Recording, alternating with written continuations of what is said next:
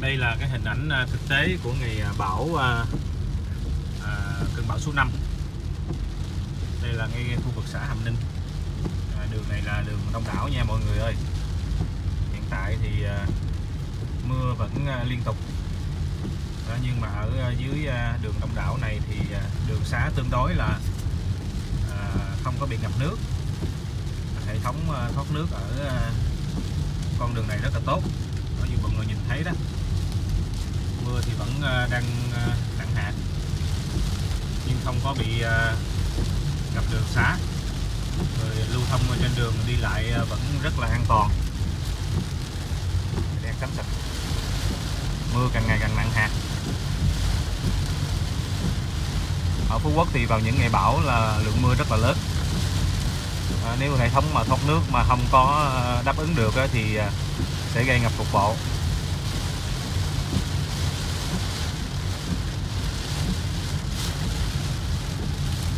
vào thời điểm này thì à, người dân miền Trung à, cũng đang đối phó với cơn bão số 5 trưa nay là à, ngay tại thời điểm này thì bão số 5 sẽ trực tiếp vào miền Trung các tỉnh như là Huế, Quảng Bình, Đà Nẵng, Quảng Ngãi, vân vân. Người dân ở đây cũng đang hoàn mình để chống chọi lại cơn bão số 5 ồ, chỗ này có ngập à ngay cái chỗ này là nó có ngập nhẹ. Do cái à, chỗ này nó thấp mà chỗ này nó, nó, nó thấp mà cái à, nắp à, sắt để mà ngăn cái rác đó nó cũng có thể nó bị nghẹt. Thành thử ra nó bị ngập nhẹ. Ừ, nước này núi đổ xuống nè. Cái này mấy núi đổ xuống đâu phải rồi. Quá trời. Cái này là mấy núi nước nó núi đổ xuống có được không đó nha. Coi xe người ta đừng ngập xe không ra rồi ba ơi Ôi, vậy là nãy giờ- đây là cái à, ngay ngã tư. Ngã tư xã Hàm Ninh nha mọi người ơi.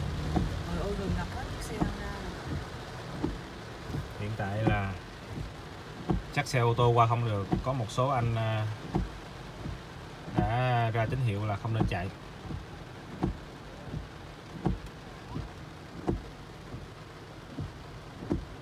Ôi,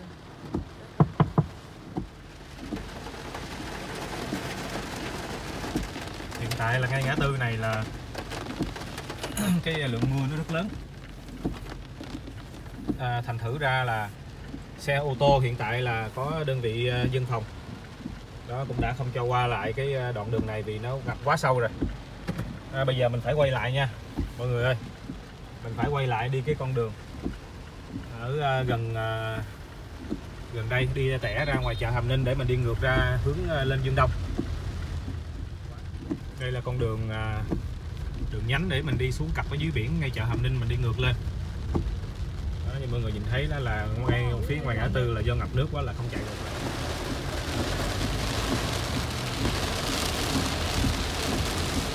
Ngay chỗ chợ Hàm Ninh đi à, qua khoảng tầm 20 mét. Có một số nơi vẫn bị ngập cục bộ nha mọi người đây mọi người nhìn này đó đây là cái khu vực này là gần à, tủ điện. bưu Hàm Ninh xe Honda lắp sắp cái máy rồi. Xe ô tô thì vẫn uh, lưu thông được.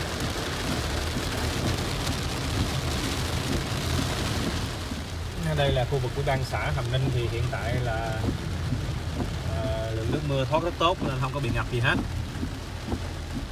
Gần ngay chỗ ờ, ngã tư thì ờ, bị ngập rất nặng.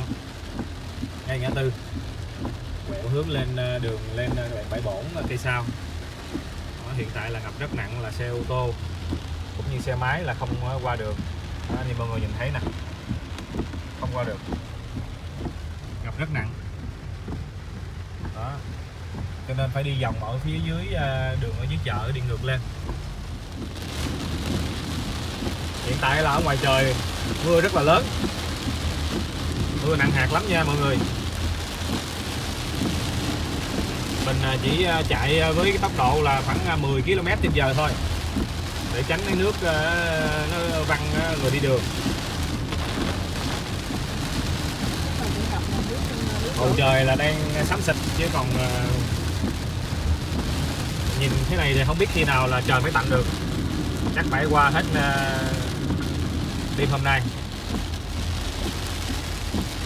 Bữa nay là ngày chính của bão số 5 hy vọng là bà con cả nước ở những nơi có bão thì à, sẽ không bị ảnh hưởng nặng.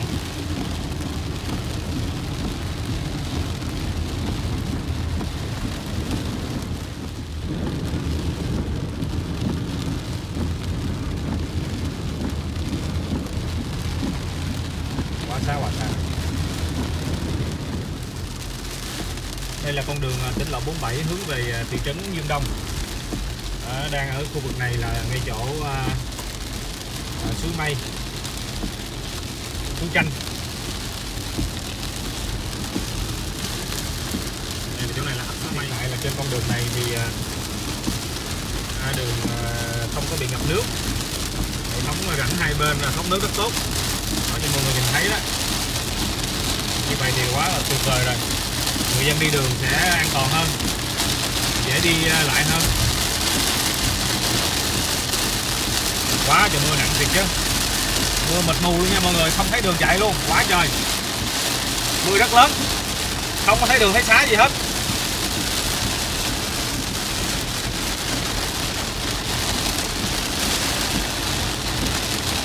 Ngoài trời rất là mù mịt.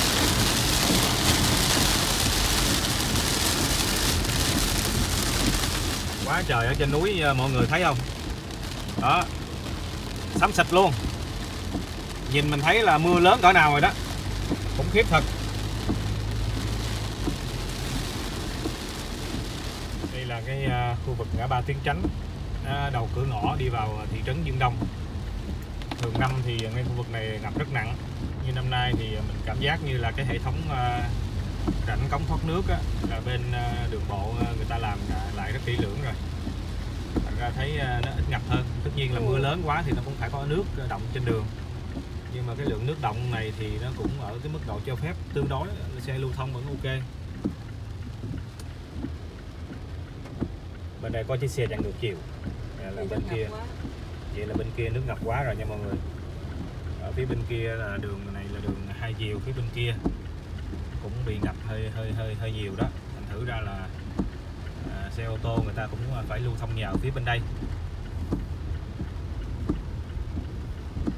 à, nó chỉ có uh, một số ờ, chỗ thôi chứ không có đến nổi tình hình như vậy thì năm nay là mình cảm thấy là cái hệ thống thoát nước là quá tốt rồi.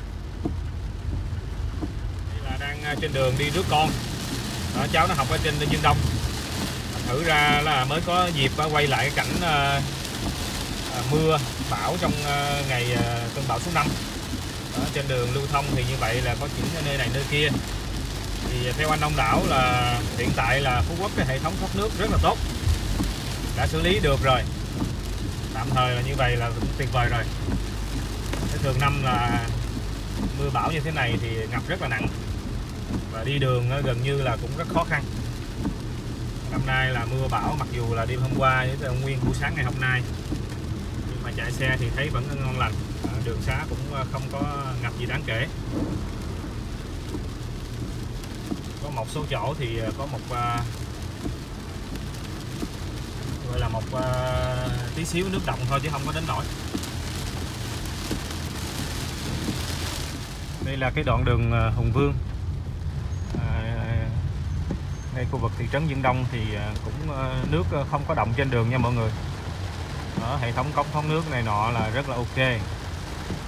Phú Quốc năm nay là hệ thống thoát nước là tuyệt vời.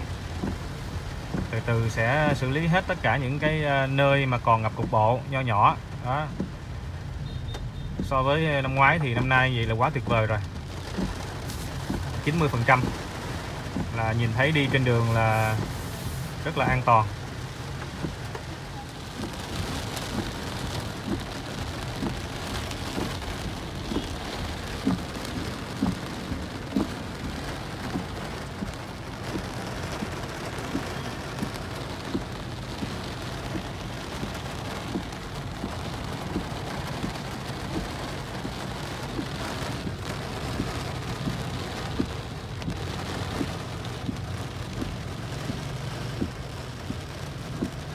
Đường 30 tháng 4 đó, như mọi người nhìn thấy là cũng không có bị ngập nước gì hết nha mọi người.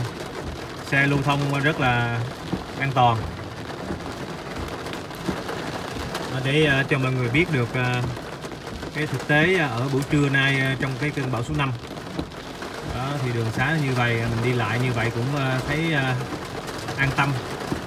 Mình có việc này việc kia mình cứ đi đứng ờ, một cách ờ, an toàn, thoải mái.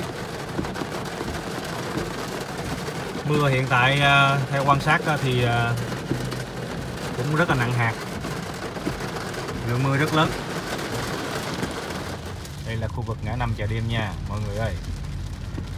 Đường xá rất là sạch, thông thoáng nha, không có nước mưa động làm ngập nha. Đây là chợ đêm nè đó ngay khu vực này là dinh cậu nha mọi người. Ở đây mình nhìn ra cũng thấy được là sóng hiện tại ở ngoài đó rất là cao. Cái ngày bão à, số 5 này à, miền Trung ảnh hưởng rất nặng nhưng Phú Quốc thì nhìn thấy cũng à, cũng bị ảnh hưởng theo tương đối. Ồ, sóng lớn ghê không em? Coi kìa dằn thấy. quá trời quá trời sóng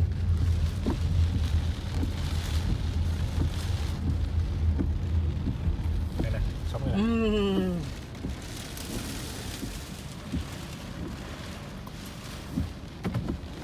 Vậy mà hôm bữa hỏi gió mạnh nữa. Là rồi ok mẹ coi kìa sóng cao ghê chưa Khiếp chưa? đó. Sao rồi đó chứ? Ở đây nè, ở đây đó nè.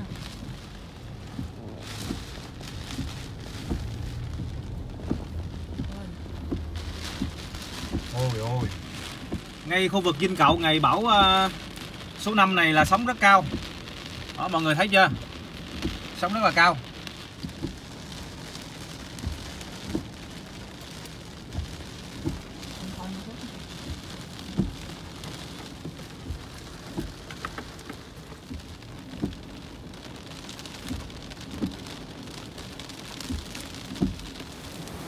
Ghê chưa? Đây là ngay Dinh Cậu nè. Mọi người thấy sợ chưa? Khủng khiếp. Ôi ôi. Ôi ôi sóng cao nè, mọi người thấy chưa? Khủng khiếp chưa? Anh à, Đông đảo Phú Quốc à, trên đường đi đứa con thì cũng à, đi qua một số con đường. Nó cũng khảo sát ở khu vực Dinh Cậu này kia thì thấy sóng cũng rất là cao. Tuy nhiên là cũng không có hiện tượng là sóng đánh mạnh quá, làm hư hại đồ đạc này kia. Đường xá thì cái cống ờ, mương thoát nước này nọ rất là tốt đó như mọi người thấy đó ở trên đường đi như vậy thì không có cái hiện tượng bị ngập nước đó. thì ờ, một số con đường ở Đông Đảo đi qua thì ờ, ở Đông Đảo thấy rất là an toàn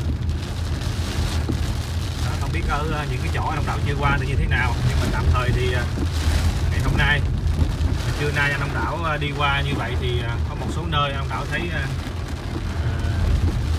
xá rất là an toàn nha mọi người ơi.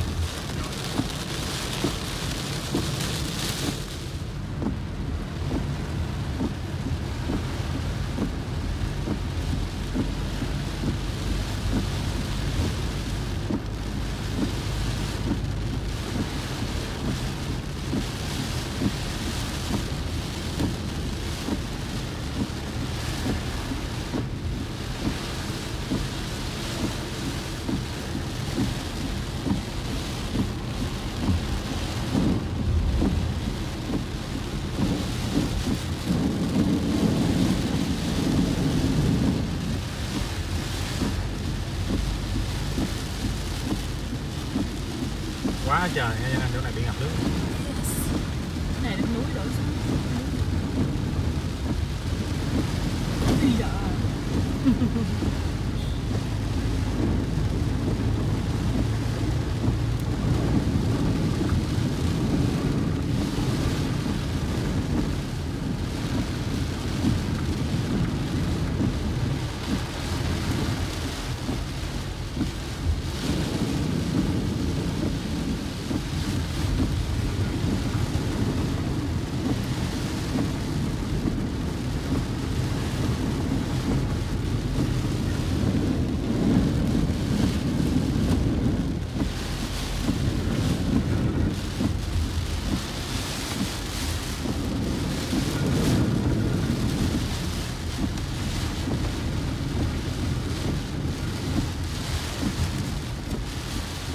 là ngay chỗ ngã tư Hàm Ninh. Cái đoạn ngã tư này nó sẽ bị à, ngập cục bộ ngay cái khu vực này nè nha mọi người. Rồi mình đi à, về Hàm Ninh mình sẽ Rồi, đi xuống dưới chợ rồi. nha. chặn luôn rồi. Bây giờ đang hiện tại đang chặn luôn rồi.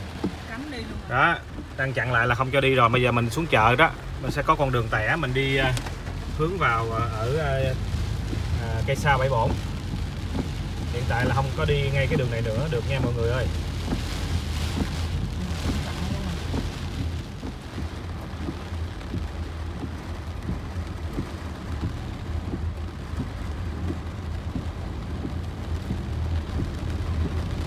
quá trời luôn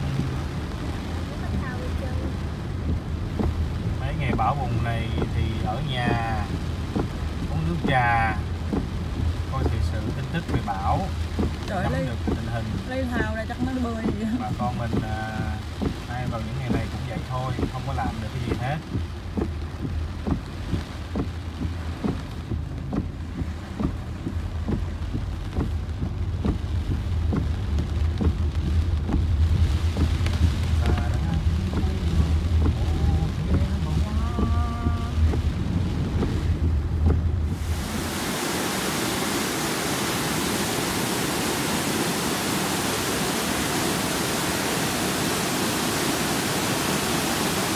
quá, trời nước ở trên núi đổ xuống nhiều quá. Mọi người nghe tiếng nước chảy thấy ghê chưa? Lượng nước trên núi đổ xuống rất là lớn.